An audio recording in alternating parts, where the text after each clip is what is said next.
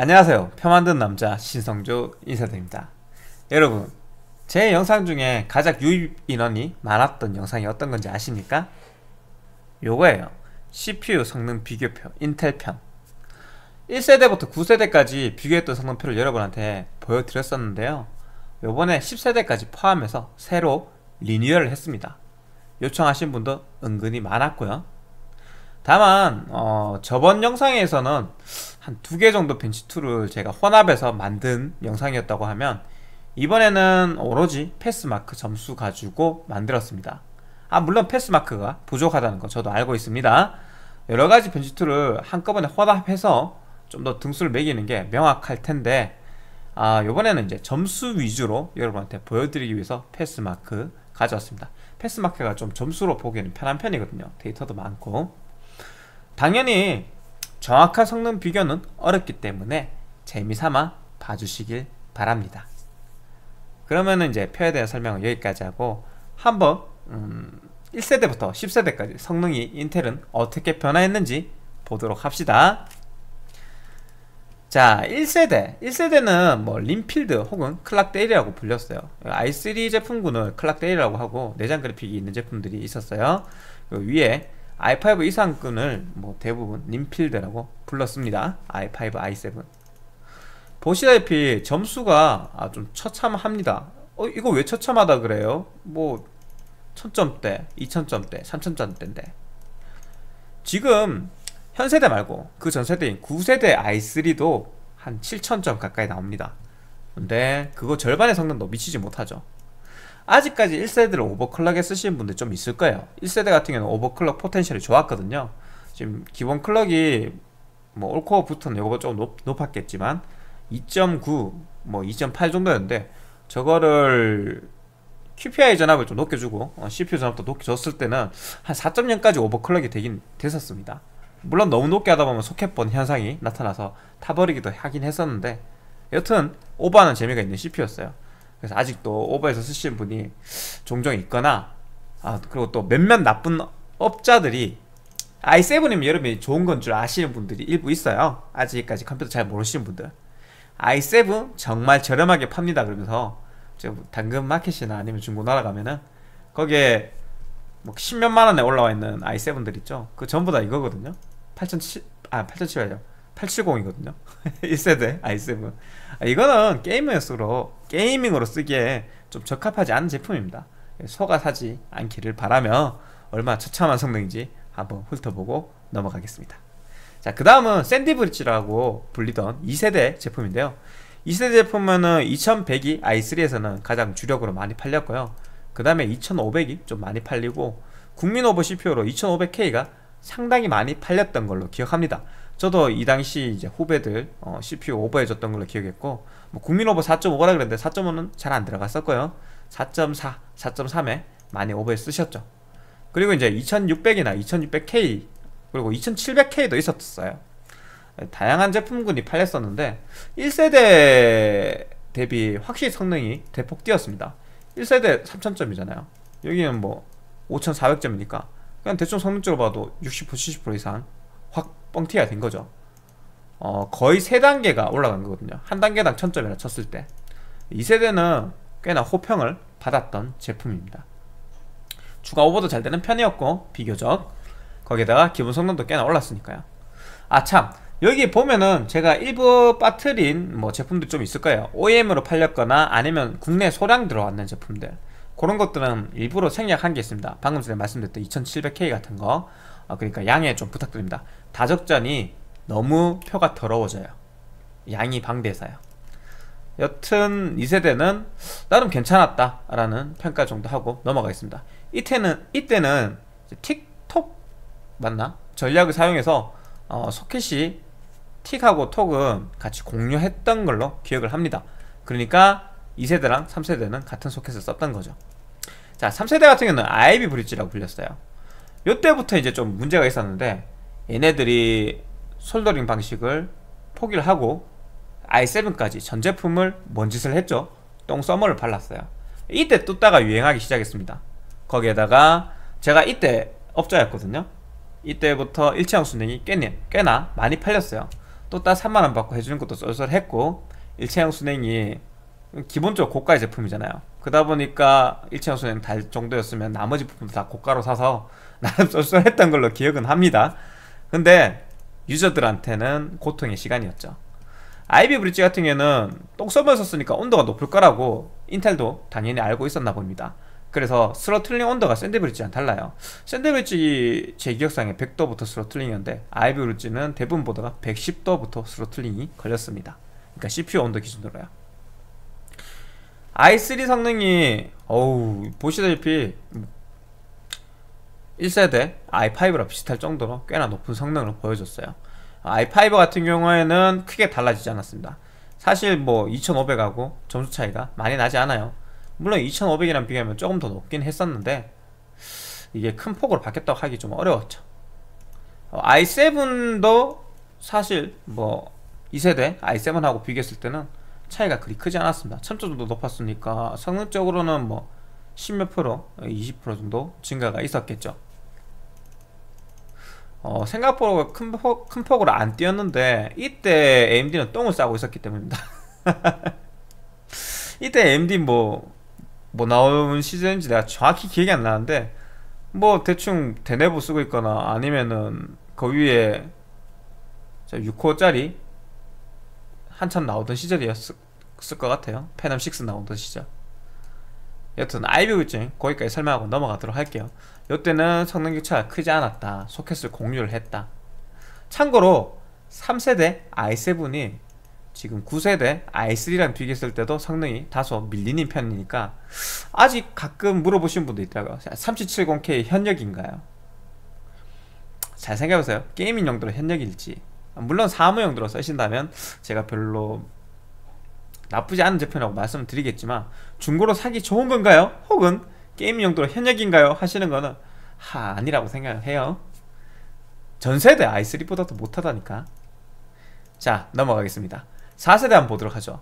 4세대는 아직도 거래가 많이 되고 중고가가 좀 높게 잡혀있는 제품입니다. 하스웰이에요. 그리고 하스웰 리프레시. 데빌스 캐니언이라는 code name을 붙여서 쓰기도 했죠. 어...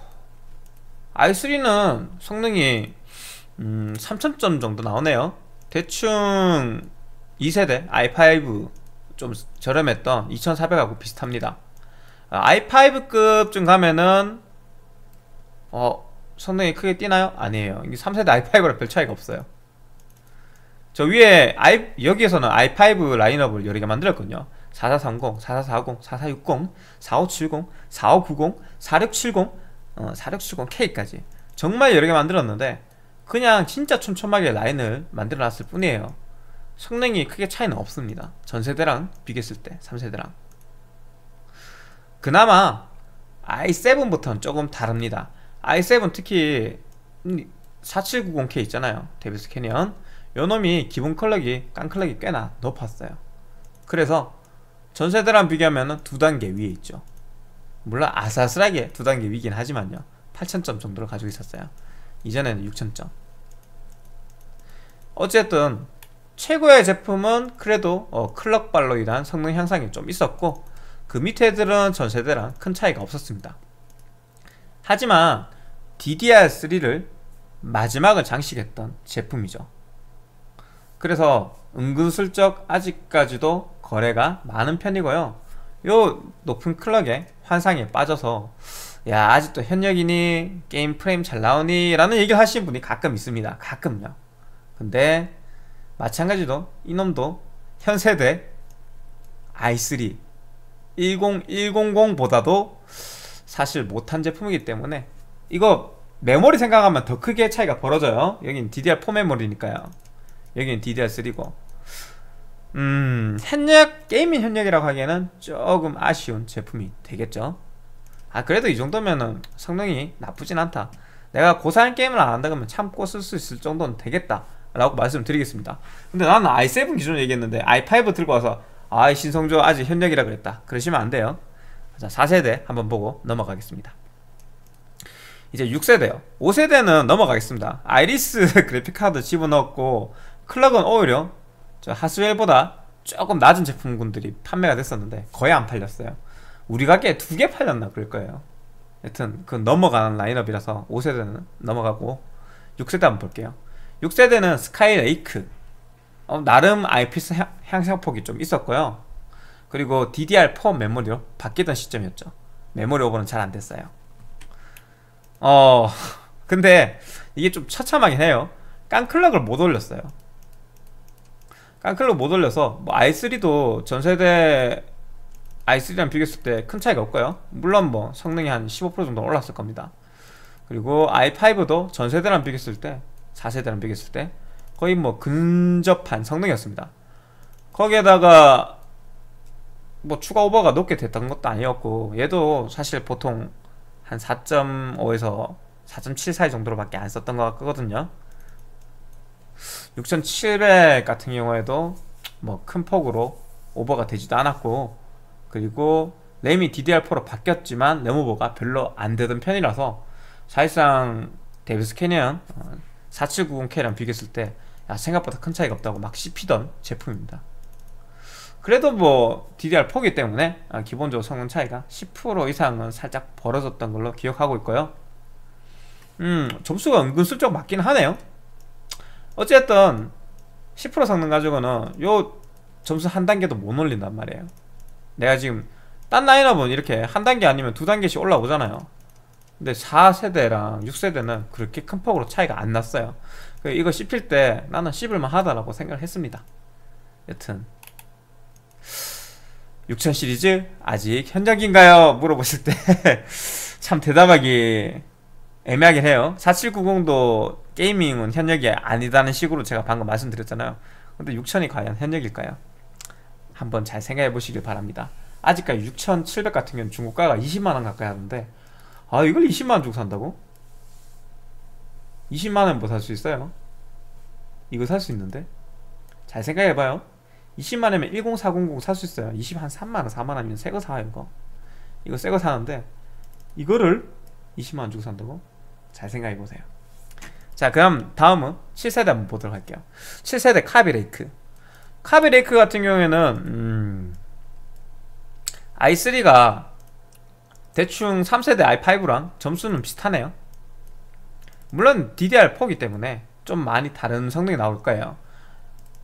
어쨌든 어 성능이 그리 크고 뛰진 않았을 것 같아요. 전세대랑 비교해도 뭐 옆에 바로 있으니까 6, 7세대가 사실 좀 비슷합니다. 보시다시피. 성 차이 크게 안 나요. 다만 7세대는 overclock이 조금 더 잘 돼요. 램 오버. CPU 오버 말고요. CPU 오버는 둘다 G프도 안 되는데 오버 potential이 한 4세대부터 좀 낮았다고 보시면 돼요. 4세대부터 낮고 램오버라도 그래도 7000 시리즈는 좀 잘 되는 편입니다.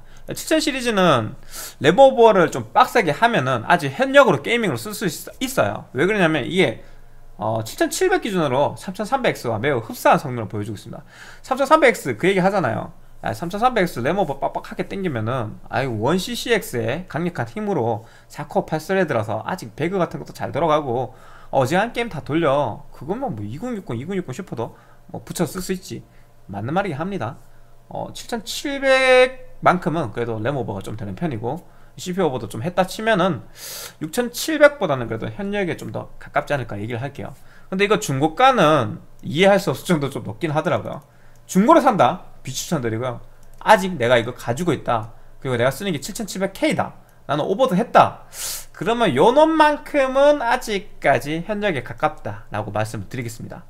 그리고 요 타이밍쯤에 음, 라이젠 1세대가 나올 겁니다. 라이젠 1세대가 나오고 라이젠 1세대에 물론 이거 내가 그 시기가 조금 헷갈릴 수도 있어요. 지금 뭔가 자료를 공부하고 얘기하는 게 아니라 제가 흘러온 거를 대충 머릿속에서 꺼내서 얘기하는 겁니다. 예, 만약에 틀렸더라도 양해 부탁드립니다. 여튼 라이젠 1세대 나오는 시점이라서 다중코어의 중요성이 어, 필두가 됩니다. 인텔이 맨날 하는 말이 아이 뭐 코어 숫자 많아봤자 의미 없다. 작업은 어, IPC가 높은 놈이 아니요 clock이 높은 놈이 최고다. gaming 우리가 최고다. 그러다가 라이젠이 은근히 코어를 많이 띄우고 싸게 파니까 판매량이 늘어나는 게 눈에 보였나봐요. 그래서 요 시점에 급하게 원래 예상보다 한 4, 5개월? 6개월까지는 안되고 한 4, 5개월 빨리 8000 시즈를 내놓습니다. 여기서부터 그래서 성능 격차가 확 벌어져요. 여기까지 계속 4코어였거든요. 그러니까 1세대부터 7세대까지 계속 4코어였어요. 최상위 제품이 보시다시피 성능은 찌끔찌끔 흘렸죠. 왜 그랬을까요? 힘을 숨긴 겁니다. 경쟁사가 워낙 똥을 오래 싸니까 이때가 불도저 시절이었을 때 요 사이는 불도저 때는 진짜 처참했거든요. 그러니까 인텔이 딱히 성능 올릴 생각을 안 한 거죠. 코어 숫자도 안 늘리고 하는 변명이나 하고 있고 그랬었습니다 사실 이때는. 그러다가 라이젠 나오면서 으뜨거 하고 코어 수를 좀 올리고 빨리 내놨던 게 요 8000 시리즈. 8000 시리즈는 i3부터 얘기가 달라집니다. 요 앞에 i3는 성능이 별로였거든요. 왜 별로였을까요? 잘 생각해봐요. 2코어 4thread였기 때문입니다. 코어 숫자가 4코어가 아니기 때문에 real 4코어가 아니었기 때문에 좀 성능이 별로였는데 여기서부터는 8100이 4코어로 나오기 시작합니다. real 4코어요. 그래서 전세대 i5와 맞먹는 성능입니다. i3가 보면은 그 전 세대는 뭐 i5랑 맞먹는 i3가 없었어요. 맞죠? 없었거든요? 여기서부터 갑자기 성능이 팍 뛴 겁니다. 하위 라인업부터. 그러다 최상위 라인업은 몇 단계 뜁니까? 한 단계, 두 단계, 세 단계, 네 단계, 다섯 단계가 뛰었어요. 적게 봐도 네 단계 많이 봤을 때 다섯 단계. 하나당 이거 칸수가 다르더라도 아 칸수가 있어요 칸의 폭이 다르더라도 천천씩 뛰었거든요. 근데 이 8세대는 비협적인 발전이 있었던 거죠 그래서 이게 경쟁은 유저를 웃게 만든다니까 소비자를 웃게 만든다 그런 거예요. 인텔, AMD가 나눠 싸우지 말라고 하는 게 어찌됐든 인텔에게 약간의 자극제가 되었다는 거죠 라이젠이.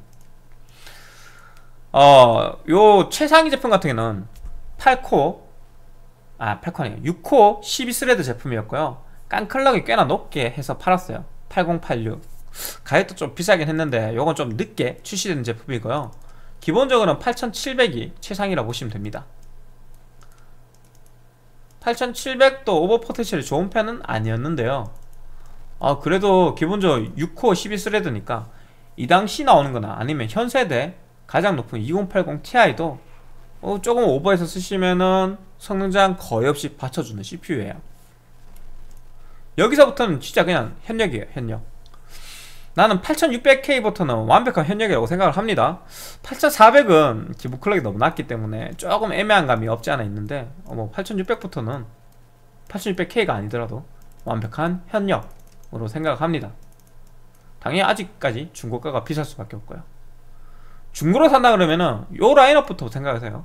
i3는 일단 빼고요. 게임 용도로 본다 쳤을 때 여기 여기서부터 사, 사시는 게 좋을 것 같아요 자 그럼 8세대 칭찬은 그만하고 9세대 한번 보죠. 9세대에서도 또 코어 숫자를 늘렸습니다. 아니 얘네들이 4코어에서 한동안 안 올릴 때 인텔이 맨날 하는 말이 코어 숫자 많은 거 필요 없다 그러더니 왜 갑자기 코어 수를 쭉쭉 늘리기 시작할까요? 사실 필요 없는 게 아니었죠. 경쟁사가 너무 낮은 성능을 보이고 있으니까 힘을 숨기고 있다가 갑자기 폭발적으로 내기 시작한 거예요. 이때부터는 조금 후달리기도 시작했을 거예요 왜 그러냐면은 인텔이든 AMD든 서로 상대방의 제품을 가장 빨리 만져볼 겁니다. 유저들보다 먼저. 알고 있었던 거지. 뭘? 앞으로 나올 뭐 젠 플러스라든지 아니면 젠2의 성능을 알 수 있었다는 거예요. 일찌감치. 어쨌든 9000 시리즈 같은 경우에는 최상위 9900K 얘가 8코 16스레드로 나왔고 깡클럭도 꽤나 많이 올라갔어요 어 9700K 같은 경우에도 8코어로 나왔었죠. 좀 아쉬운 게 이 hyper threading 기능을 빼버렸다는 건데 real코어는 real코어의 장점이 나름 있어서 9700K가 gaming으로 가장 좋은 CPU로 각광받았었습니다. 9000 시리즈 나올 때만 해도. 가성비가 가장 좋은 CPU 웬만한 그래픽카드 전부 다 최대 성능을 뽑았을 수 있고 거기다 가격도 크게 비싸지 않았기 때문이죠 어, 9600도 사실 인기리에 많이 팔리긴 했어요. 주식용 컴퓨터에도 많이 들어갔고요. 주식은 빠른 클럭이 중요하니까요. 어, 거기에다가 나름 가성비를 잡은 F 시리즈라는 게 나왔었죠. 내장 그래픽을 비활성한. 9600KF 같은 경우에는 어, 막바지에 다다라서 좀 싸게 팔리기도 했거든요. 20만원 초중반에 팔렸으니까요. 이걸 게이밍 CPU로 많이 쓰기도 했습니다. 9400이 또 가성비 시리즈로 9400F가 어느 정도 팔리기도 했고요 9100 같은 경우에도 은근슬쩍 사무용도로 나가는 편이었어요. 9100F는 현재 시점에도 좀 나가는 편이죠. 가격이 8만원 밖에 하지 않으니까. 어쨌든 이 9세대는 음, 나름 인기리에 팔렸던 제품이라고 생각합니다. 성능 폭도 꽤나 크게 올랐고요. 아까 내가 뭐라고 했어요? 7000에서 8세대도 많이 뛰었다 그랬는데 8000에서도 8000 이제 노멀스러운 8700 기준으로 보십니다. 한 단계, 두 단계, 세 단계, 네 단계, 다섯 단계. 다섯 단계나 올라간 거예요. 9900K가. 여기서도 큰 폭의 성능 향상이 있었습니다. 그러니까 라이젠으로 제대로 경쟁을 시작하니까 제대로라고 해야 되는지 모르겠는데 여튼 경쟁을 시작하니까 인텔이 폭발적으로 힘을 냈다. 그 정도로 하고 마무리하고 넘어가겠습니다. 9세대. 자 그 다음은 10세대인데요. 이제 얼마 전에 출시된 한 달밖에 안 된 따끈따끈한 제품이죠. 10100 보겠습니다. 야 이거 진짜 장족의 발전입니다. 아니 3세대 전에 i7이랑 맞먹어요. 3세대 전에 i7 7700을 맞먹는다고요.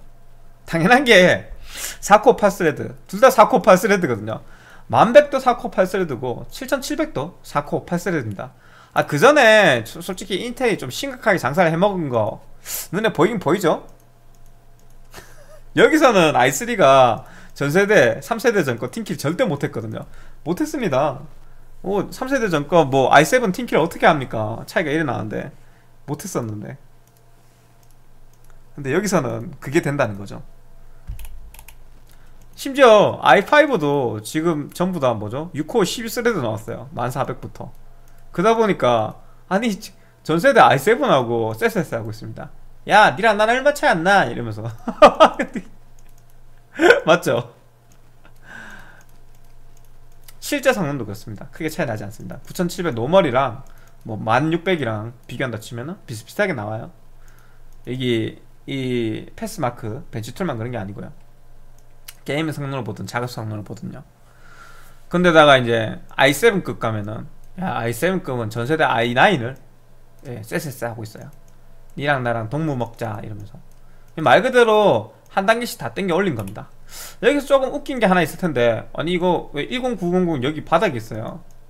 저도 이게 좀 이상하더라고요.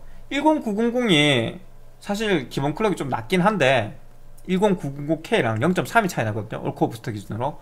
근데 1700K한테 밀릴 정도는 아니에요.